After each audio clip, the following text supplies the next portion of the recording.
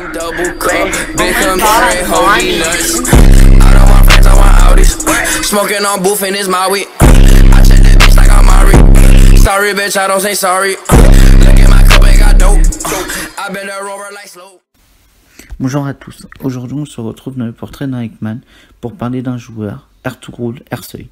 Ertugrul Ersoy est un joueur professionnel turc. Il joue au poste de défenseur central au HAK. Âgé de 22 ans, Ertugrul est né le 13 février 1997 à Kocaeli en Turquie. Malgré son jeune âge, il totalise déjà 88 matchs en première division turque pour 4 buts marqués. C'est un joueur international avec son pays. Il joue international depuis ses 15 ans, alors qu'il était en U16.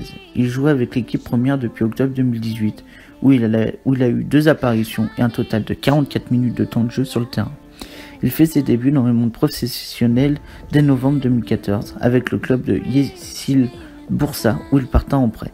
À la fin de son prêt, Arceuil parta pour le club de Kaykur Rispor pour une saison avant de revenir dans son club initial à Buzaspor.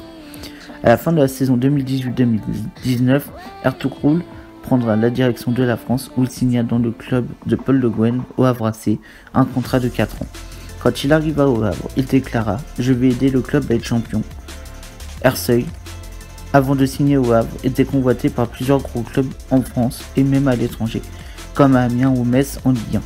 Il était également convoité par Lessie en Italie, Anderlecht en Belgique ou encore Galatasaray et Fenerbahçe lui offrait la possibilité de dans son pays, en Turquie. Si j'avais un petit mot à dire pour Arseuil, c'est de s'accrocher. Nous avons confiance en lui. Je sais qu'il va tout donner pour le club.